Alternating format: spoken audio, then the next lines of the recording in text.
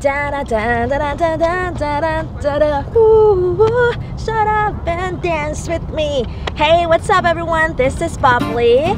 你好. So today we are gonna continue to talk about fall time, okay?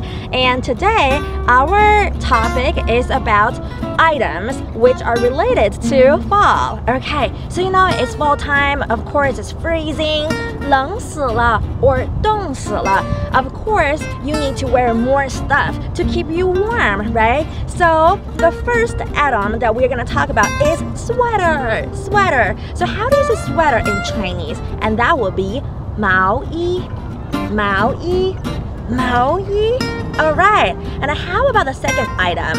So also you can wear a scarf, right? So how do you say scarf in Chinese? And that would be 围巾,围巾,围巾. Mm-hmm. And also if you still feel cold, you can wear more stuff, right? And one of my favorite items is a cap. Okay, you can wear a cap. Then how do you say a cap in Chinese? And that would be 帽子,帽子,帽子. Alright, so guys, now we're gonna take a quick review. So we have learned three expressions today. One is about sweater, which is 毛衣,毛衣.